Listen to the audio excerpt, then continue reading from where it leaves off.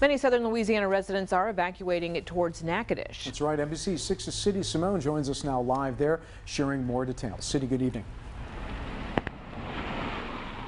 Good evening, Dan, Jackie. We spoke with a few families who say they aren't too concerned about the storm, but as you can see, the rain is constantly coming down, and it actually picked up just a bit here not too long ago. We haven't came across any flooded areas yet, but I'm sure we will just a little bit later.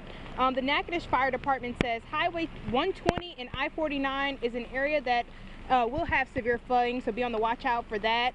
The fire department says the category of the storm Delta downsized and not many people are evacuating like they did for Laura.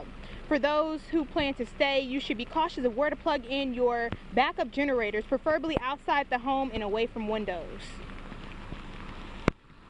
You know, we had several deaths related to Laura with carbon monoxide, and we want to avoid that if all possible.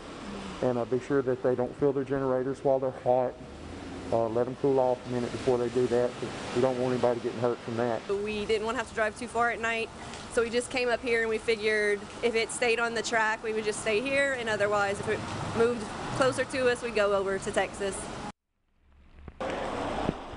SWEPCO says residents should expect the power to be out for several days. For people using emergency life support equipment, they should make arrangements for power outages. And we noticed some people still out on the roads, and the fire department says that if you have any stay away from the flooded areas.